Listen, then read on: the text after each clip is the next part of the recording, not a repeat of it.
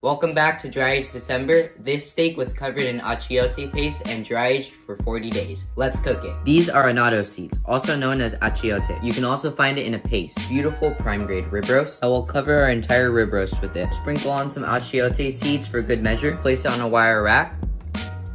And now we'll dry age.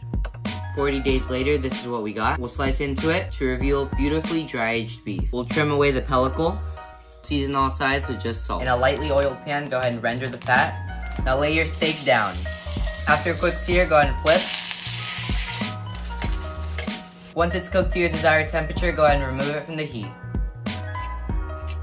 Now after a good rest, we'll slice into it to get that perfect medium rare. And enjoy! Super tender, super juicy, and you can really taste the achiote. Perfect combination of achiote and that dried funk. This was absolutely delicious.